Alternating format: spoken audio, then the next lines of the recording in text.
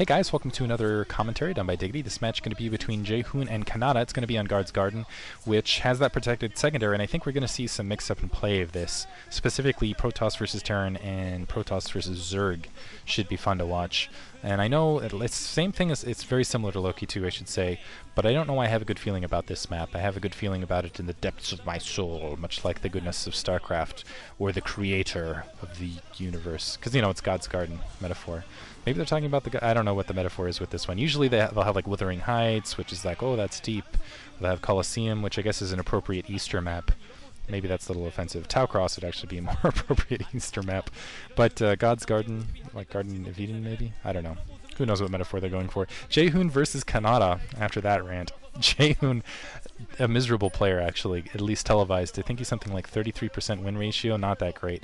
But he's going up against Canata, and Canata is one of those guys who on paper looks very, very good and is very strong versus Terran all the time, but is inconsistent otherwise, although he's looking very confident right here. And there shouldn't be a lot of pressure on him because SKT up 2-0, and he's not exactly playing the most ferocious PVT player in the world. But again, he plays against, he tends to play to the level of his opponents. So when he's playing a guy like Jaedong, sometimes he can play fantastic, and sometimes he can take down some wins. And you're like, holy crap, Canata's the next Bonjour, he's going to be incredible. And then other times he'll end up playing, you know, no name McGrubby, and McGrubby will end up schooling him because he just forgets how to micro somehow. He's like, what's a Marine? How do I shoot Skulk? Um, NS, re NS reference there for you guys. Natural selection, if you're wondering, g4b2s.com. Special shout out to those guys. Anyway, I feel like God's Garden is just going to be one of those fun maps. I can just feel it in the core of my beam because you got that protected secondary. You have that other secondary up front. It's not really fast expansion buildable, but uh, it is. I'm not sure if it's actually Terran sealable because your ramp's kind of to the edge here. But with the siege tank, you can mostly cover that secondary, uh, and so you know you can go for that protected, then take out two, three tanks and get a quick, easy third. All three expansions have gas, so it's pretty macro heavy, and it's one of those things where it's just uh, it should be fun, and it's kind of a tight secondary that's or tight secondary in main that's pretty easy to hold. Maybe I feel like a lot of these maps encourage drops and this is no exception. I do think that High Templar drops above, because right over the secondary you've got this cliff, so you can drop a High Templar up there, maybe Storm, unless they're altogether prepared to have some, maybe they'll float barracks up there, just to be careful, wary of such things. But I like to speculate, and I love new maps, and I, I can just feel it in my core, and I'll stop ranting about that now as we get the match underway. Lot on the line, MBC. Just this is not the situation. Again, I this is not the situation I expected to be them in. Sea and Light are usually very, very strong. And actually, again, I'm glad we're out of the Winners League Pro Mat, those two pro, uh, format, because both those guys very strong players. I expected at least one of them to get a win.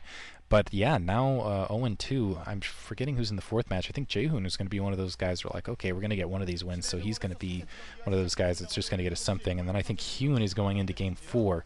He's going up against the, Zer uh, the Zerg. Battle Royal is just a Zerg versus Zerg map. It's kind of like, let's have Jaedong always win game four. Make sure Jaedong's always going in game four to try to encourage Oz to, if that is set at, game four, to kind of encourage Oz to send out Jaedong a little earlier so it's not just, you know, automatic win going into whatever set.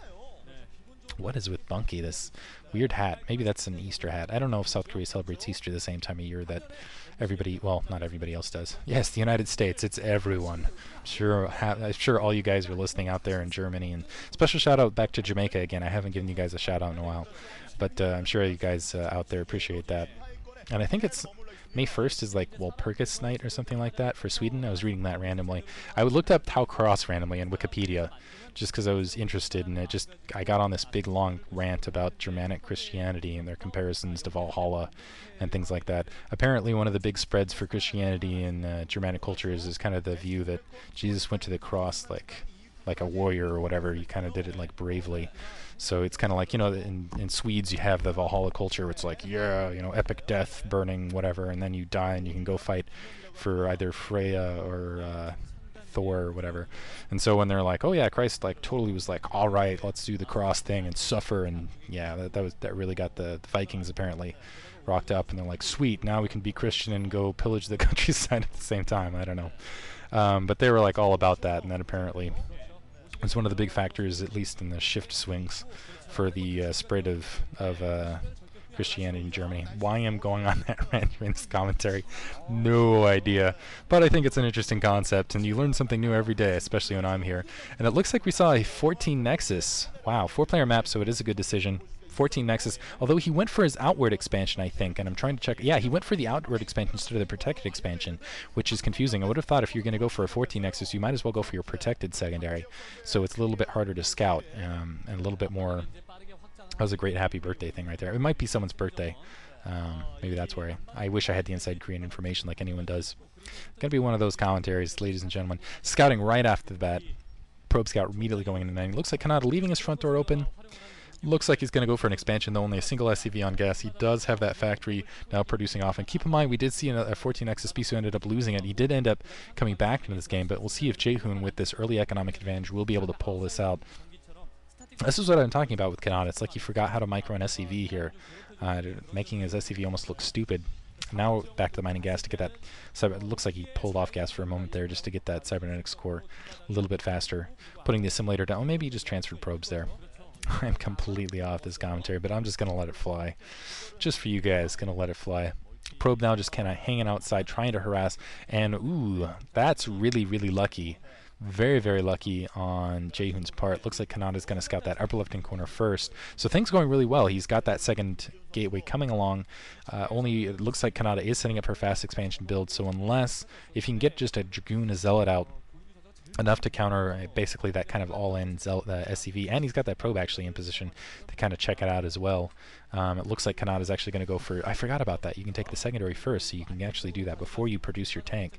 You just need that tank out in the field to kind of produce some protection. So uh, this is actually going to work out in Canata's favor because that's going to be one less attack force. That's going to be a little less that Canata's worried about. He's like, okay, I'm doing safe expansion build. Um, and unfortunately, he's going to end up economically behind as a result.